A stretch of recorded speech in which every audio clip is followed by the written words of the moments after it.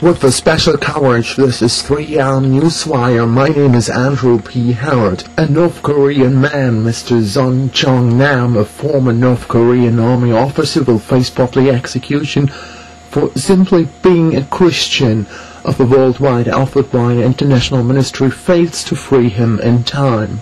Please pray for Son Jong Nam and his family in North Korea. The international efforts to free Mr. Son Jong Nam are supported also by politicians in the United States of America and Europe. On July 7, 2007, Senator Sam Brownback wrote a letter to the U.S. Secretary Dr. Condoleezza Rice. His message, we would like to bring to your attention the case of Mr. Jong Nam Son, a North Korean refugee who was recently deported back to North Korea. Mr. Son fled to China in 1998 with his wife, son and brother in attempt to seek refuge in China. Subsequently, in 2001, Mr. Son was arrested by Chinese authorities and sent back to North Korea, where he faced imprisonment for three years for working to send missionaries into North Korea. Upon his release from prison, Mr. Son fled to China once again, hoping to find his brother. In January 2006, he was again deported back to North Korea and has remained in prison ever since, where he awaits public execution for being a Christian. Future cooperation and engagement with North Korea will be far more challenging if its leaders continue to persecute their own people for religious views.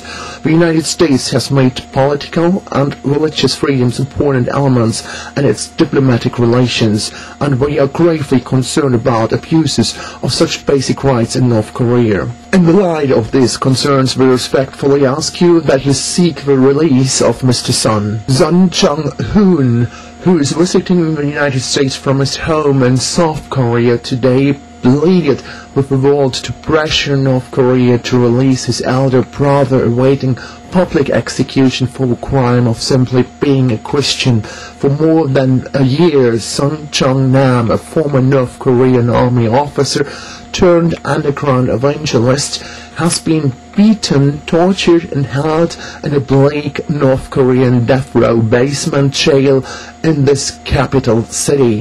He has been sentenced to public execution as an example to the North Korean people.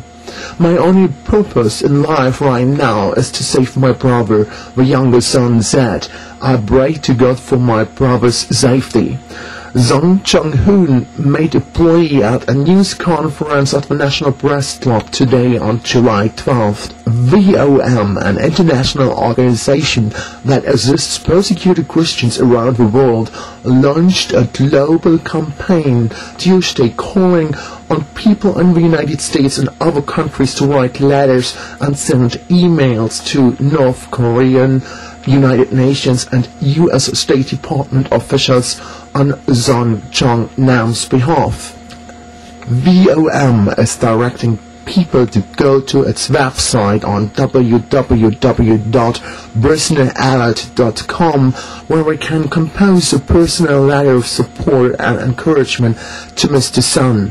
The letter is to be mailed to the North Korean delegation to the United Nations along with a cover letter asking the North Korean government to spare Mr. Son's life, release him from prison immediately, report on his current status, and deliver the personal letter to Mr. Son.